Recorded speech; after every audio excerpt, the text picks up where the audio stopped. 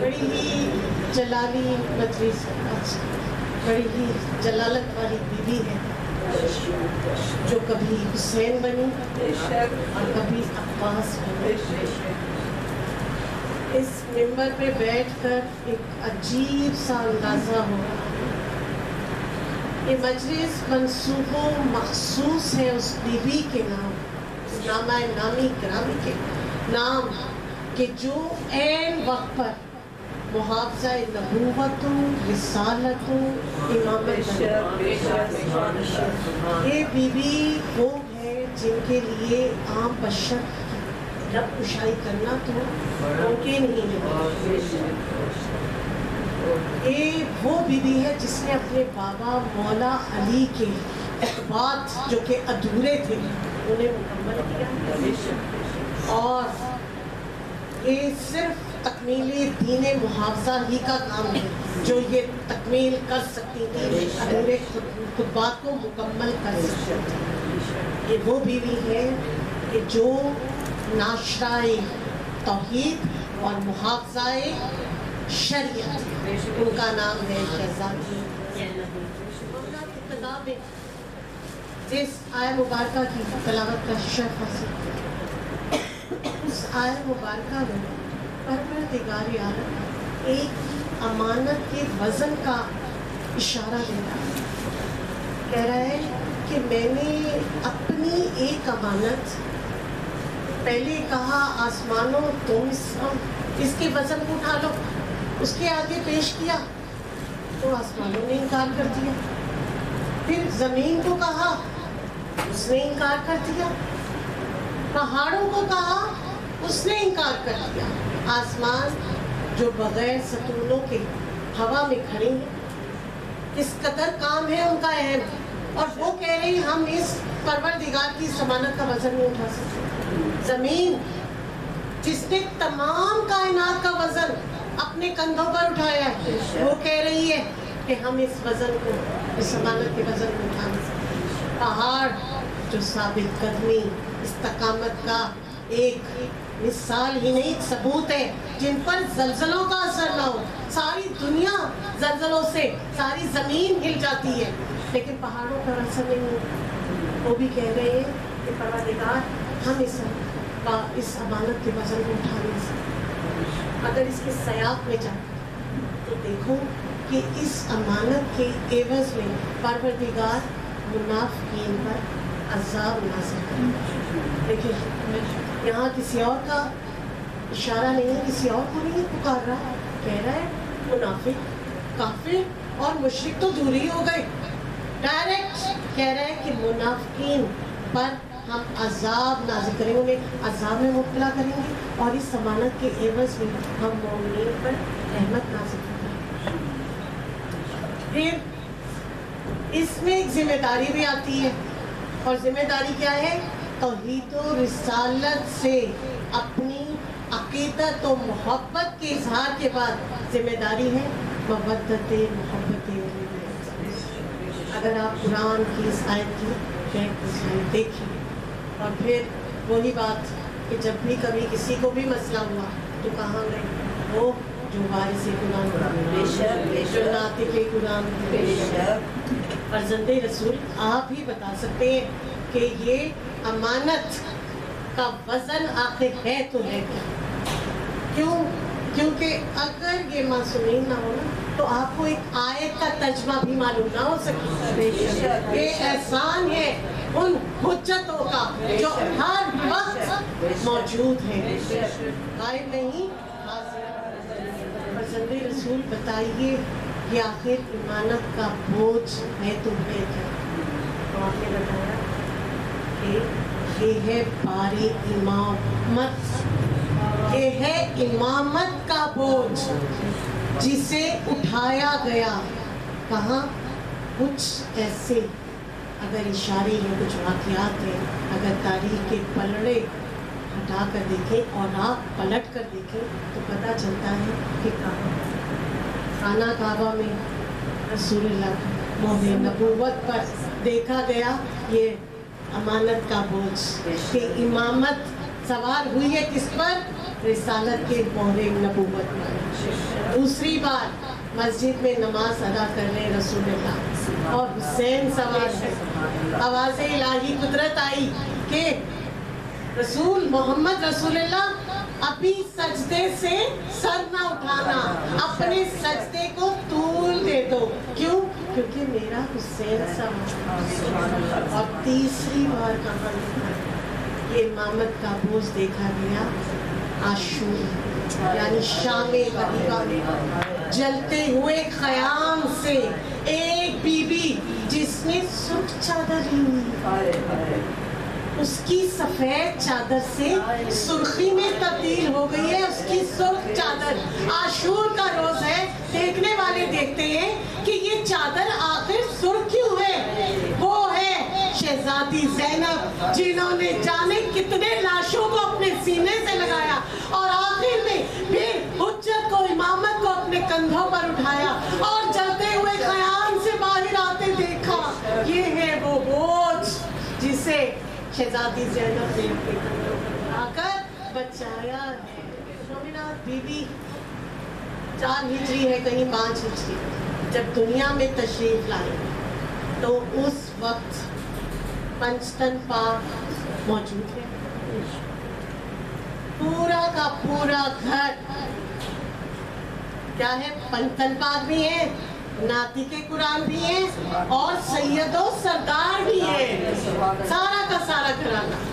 क्या कि नाना सैयदुल अंबिया? बाबा सैयदुल औसिया? माँ सैयदतुल निसा? भाई सैयद जवाना ने अहले जन्ना नाना नबियों के सरदार? बाबा वलियों के सरदार, माँ, कायनात की मोमना, औरतों की सरदार। और भाई तमाम जितने जवान हैं, उनके ये है वो शहजादी। रजानी मालकानी एक सब लोग कुछ ना कुछ सीरत ये पर लिखते हैं। बड़ी मुश्किल काम है, क्योंकि बीबी के असरार इतने पोशीदा हैं, जो कि सारे के सारे मसाइब में जाकर छुप गए। इस कदर बीबी की कहना चाहिए कि उनकी इसमत के सजदे अभी बाकी मार्फत के सजदे अभी बाकी हैं जो लोगों के सामने पोशीदा हैं। तो मालकानी रजानी मालकानी लिखते हैं बीबी की सीरत पर लिखते लिखते कहते हैं आँखों में सोने कमा क्या कोई क्या जाने? जैनब क्या है? आप क्या जाने? कि जैनब क्या? और फिर लिखते लिखते जब आगे बढ़ते हैं तो कहते कोई भी इस बीबी की कदे अजमत को जान ही नहीं सका इजराक ही नहीं कर सका। कुल हकीकत क्या है शहजादी से? कोई जान ही नहीं सका। अगर मैं जोशी खिताबत में ये कहती हूँ कि बीबी वो आए थे जिन्हें कुरान की आगोश मिली, और सब आए थे मोमिनात अब इस बीबी की और मार्फत क्या? कि बहुत मैंने कहा ना सीरत के मुतालिक बड़ी ही मुश्किल तरीके से लिखते चले आए। अब क्या है कि, एक है रियान शरिया एक किताब जिसमें इस्लाम की जितनी भी बाइस्मत बाइस्मत बासीरत बाकिरदार मोमनात हैं उनका ज़िक्र है। उनकी तमाम बायोग्राफी, हालात उसमें लिखते हैं कि जब ज़माने से हज़रत मरियम इस्लाम चली गई तो ज़माने को उसवा हुसना की ज़रूरत है कामिल मोमना की है एक ऐसी बीबी जो नयाबत में रहकर, घर के अंदर रहकर मोमिनात को रहनुमाई कर सके तो जनाब फातिमा जहरा।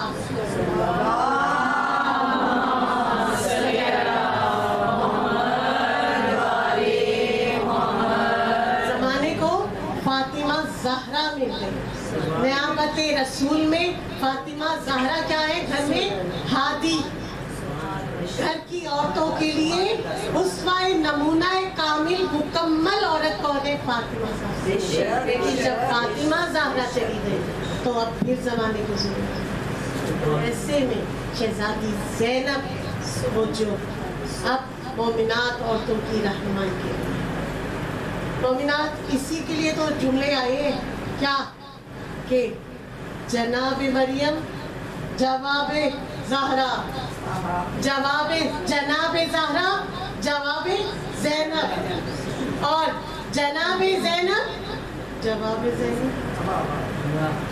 मोमिनात पूरी जितनी भी मोमिनात हैं, उनकी दुनिया में शहजादी जैनब एक मुकम्मल, पाकिज़ा, पाको पाकिज़ा बासफियत बा इसमत मोमना है पूरी कौन? शहजादी फातिमा ज़हरा देखिए, हज़रत हवा पहली दुनिया की, मोमना मस्तूर लेकिन नामुकम्मल हज़रत मरियम पाको पाकिज़ा ताहरा बतूल लेकिन नामुकम्मल हज़रत आसिया वो भी नामुकम्मल कैसे?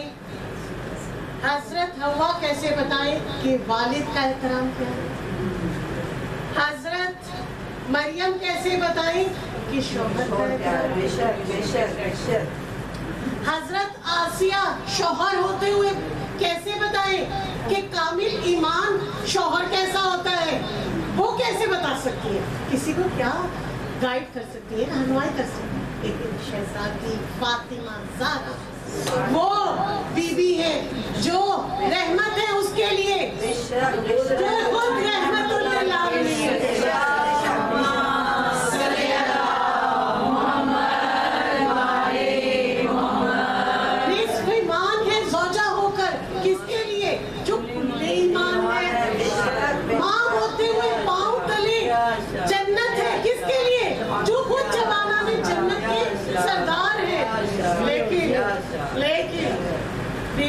अब आपके आगे हाथ जोड़कर अर्ज़ करेंगे। सारे रिश्ते तो आपने निभाए कि कैसे निभाने हैं, दुनिया में कैसे चलना है, लेकिन एक रिश्ता तो है है भाई का बहन से रिश्ता। तो मैं ये कहूँगी कि कयामत तक फातिमा जहरा की सानिय जहरा तो दुनिया को मिल गई लेकिन सानिय जैनब तो गई, लेकिन सानिय जैनब यानी कि अब नहीं मिल सकी। फातिमा जहरा की सानिय जहरा तो मिल गई, लेकिन सानिय जैनब दुनिया को नहीं मिल सकी। ये है शहजादी जैनब क्या जमाल है, क्या रुतबा है शहजादी जैनब का? मैंने कहा ना कि आम इंसान का लब कुशाई करना ऐसी बीवी के लिए इतना मुश्किल है। थोड़ा सा इमाम हुसैन की तरफ़ एक इशारा करना चाहती हूँ कि ज़रूर ज़िक्र हो, क्योंकि ज़िक्र सकीना भी है, शहजादी सकीना भी है और शहजादी जैनब भी इसलिए देखिए, ये जो जंग की इब्तदा जिसको हम समझते हैं, जो यजीद और इमाम हुसैन के दरमियान बैग के नाम पर हुई तो क्या ये इब्तदा थी? क्या ये शुरू शुरू जानते हैं कहाँ से शुरू तौहीद और इब्लीस हर दौर में एक तौहीद का नुमाइंदा है तो साथ में एक इब्लीस का नुमाइंदा है ये शुरुआत इमाम हुसैन की बैत से नहीं है अगर यजीद पाँच वक्त का नमाजी तहज्जुद गुजार भी होता तब भी इमाम हुसैन बैत ना करते यजीद की। आप क्या समझते हैं कि वो फासिक और फाजिर था जो बैत नहीं की? नहीं। यजीद, देखें, पहले सुने कि यजीद के हाथ पे किसका हाथ था? मुआविया का। मुआविया के हाथ पर अबू सुफियान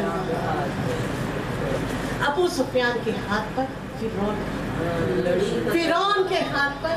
नमरूद का हाथ नमरूद के हाथ पर। इब्लीस का हाथ ये अकेला यजीद का हाथ बेशक इधर इमाम हुसैन के हाथ पर इमाम हसन का हाथ इमाम हसन के हाथ पर मौला अली का हाथ मौला अली के हाथ पर मोहम्मद रसूलुल्लाह का मोहम्मद रसूलुल्लाह के हाथ पर हज़रत मूसा का था। हज़रत मूसा के हाथ पर हज़रत इब्राहिम का हाथ था और हज़रत इब्राहिम के हाथ पर आदम का हाथ ये अकेले हाथ नहीं थे, वरना क्या होता?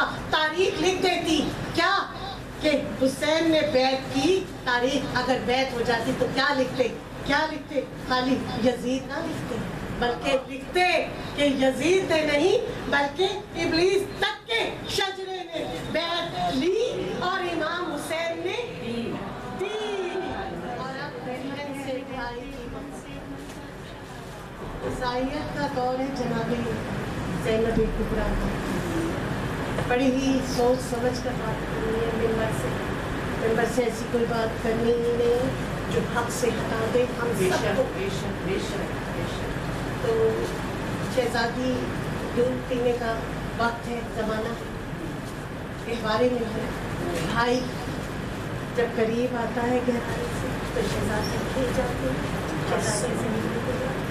और जब भाई दूर जाता है गहवारे से तो शहजादी पर गिरिया तारी हो जाते हैं, रोने लग जाती है। ये निस्बत है बहन से भाई मैं कहना ये चाहती हूँ, इमाम हुसैन ने अपनी तमाम बहनों से प्यार किया जो शहजादी जैनब से वो इसी से और इसी तरह इन शहजादी जैनब को भी अपने तमाम भाइयों से बहुत प्यार था इमाम हसन का वाक्य तो याद है कैसे तीर निकाले थे, प्यार था सबसे मौलाबाद लेकिन जो इमाम हुसैन से निस्बत मोहम्मद थी ना शहजादी, वो इसी से ज़िंदगी थी।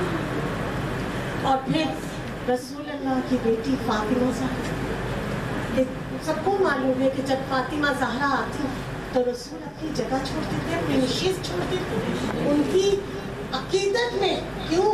उम्मे अबीहा है। अकीदत में, एहतराम में नशीस छोड़ के खड़े हो जाते इसी तरह, मैंने कहा ना कि मेंबर से गलत बात हो तो शहजादी जैनब, इधर इमाम हुसैन कुरान की तलावत कर रहे हैं। उधर शहजादी जैनब आती है। तो क्या है कि कुरान को छोड़कर शहजादी के लिए खड़े ये कि जब आशूर का रोज आया है, शबे आशूर तो इमाम हुसैन ने अपनी बहन जैनब को खैमे में दी और राजो न्याज दी। असरारे इमामत सपुर्द किए। क्यों?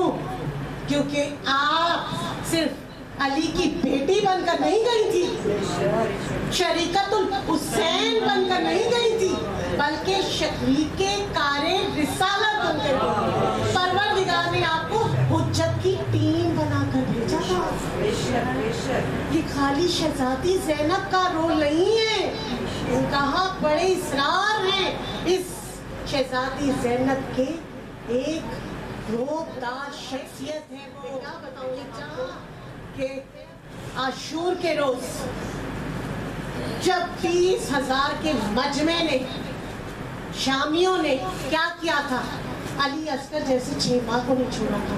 तो वो जो क्या उनको उस, उनको हज़रत सैयद सज्जाद और बाकिर नज़र नहीं आ रहे थे? क्या वो नहीं जानते थे कि इतना जवान है, चाहे बीमार है। यानी सैयद सज्जाद अगर बीमार थे तो वो करबला से कूफा कैसे चले? कूफे से शाम तक कैसे चले? अगर वो इतने बीमार थे तो उनको कैसे छोड़ सही समझी मैसेज पहुँचा अब तक मेरा?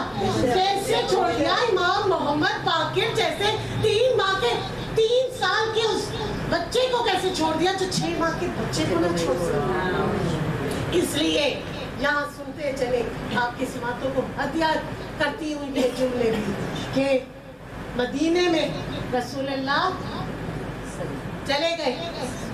उनके कातिल इमाम हसन, इमा- पहले पहले मौला अली कूफे में शहीद किया। कातिल। इमाम हसन के याद है ना? उनके दोबारा जनाजा आया लाशे से उनके तीर निकले लेकिन।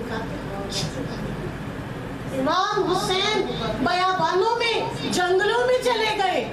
वो तो फिर मदीना शहर था, कूफे का शहर था। लेकिन वो तो मदीने कहाँ है? बयाबानों में, जंगलों में। लेकिन कातिल ना छुप सके। क्यों? उनके साथ शहजादी जैनब मिलता नहीं है कोई सहारा यजीद को। मिलता नहीं है कोई सहारा यजीद को। जैनब ने इस तरह से उजाड़ा यजीद को। खातून जंग कर नहीं सकती थी, इसलिए खुतबों की जुल्फकार से मारा यजीद को। जाने जाते हुए में में हसन, सब्र में मिसले हुसैन और जलालत में मिसले अब्बास। ये है। अगर शहजादी जैनब ना होती तो ये पैगाम करबला का हम तक ना जब चला पहले हरफ का काफिला मदीने से तो क्या कह के चले थे इमाम हुसैन? कहा था कि बल खरज तू, लिल इस्लाह, फिर दीने मोहम्मद। दीन की इस्लाह किसकी? उम्मत के दीन की इस्लाह के लिए मदीना छोड़कर जाना और फिर एक तारीखी जुमले कहे थे कि अगर नाना का दिन मेरे गले से, मेरे कत्ल से नहीं बच सकता तो आओ तलवारों आओ और मुझे काट करबला में जाकर इमाम हुसैन ने क्या कहा? मदीने चलते वक्त एक गला पेश किया और करबला में कहा, जितने गले में सबके दो। फिर तय किया कि कुछ गले तो कटने के लिए दे दूँगा। और एक गला छोटी बेटी सकीना का रस्सी में चकड़ने के लिए ये कहते हुए चले थे। और फिर जब शिव खंजर चलाने के लिए आया है ना इमाम हुसैन के घर में तो उसने कुछ जुमले सुने। आप आखिरी सजदे में और उस सजदे में आपने कुछ तारीखी जुमले कहे जो शिम्र की समाज से टकराए और शिम्र मतवजे हुआ। क्या कहा इमाम से कहा, बारगाह में परवरदिगार। ए मालिक, सारी कायनात छोड़कर तेरी बारगाह में आ रहा अब अब मुझ हुसैन को परवाह नहीं। सकीना को तमाचे लगे। अब सकीना चाहे तमाचे खाए मालिक इस हुसैन को कोई परवाह नहीं ये जुमले हैं इमाम हुसैन और फिर इमाम हुसैन की प्यास कब खत्म हुई। सबको मालूम है ना, जब गला कटा इमाम हुसैन की प्यास खत्म हो गई। अब्बास की प्यास गला कटने के साथ खत्म हो गई। सबकी प्यास, यहाँ तक कि छह माह की अली असगर की प्यास भी गला कटने से खत्म हो गई। लेकिन सकीना कब तक प्यासी रही? किसी को मालूम है? वाक्य नहीं मालूम कि सकीना कब तक प्यासी रही जब ये काफिला पहुँचा शहजादी सकीना अपनी फूफी की गोद में बैठी है। सामने तमाशाई औरतें आई। कहा ज़ुबान फेर कर अपने होठों पे ज़ुबान फेरी और कहा फूफी अम्मा, बहुत प्यासी इन औरतों से पानी मांग लो। कहा, ना, नहीं मालूम सकीना कब तक प्यासी। और फिर ये काफिला चला है। शाम के करीब एक शहर हनस एक जमा मकाम वहाँ पर रुका। शिम ने देखा कि तमाम पानी खत्म हो गया। उसने दरवाज़ा शहर का खटखटाया। वहाँ से लोग आए। उन्हें कहा कि मेरी फौज प्यासी है, पानी लाओ।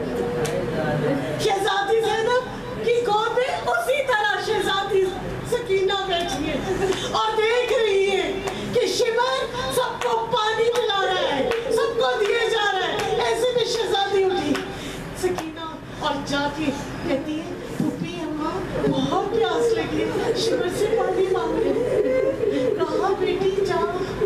अगर तो शिवर तुझे पानी दे है तो मांग। लो अब शहजादी पीछे पीछे है और तो शिवर देख रहा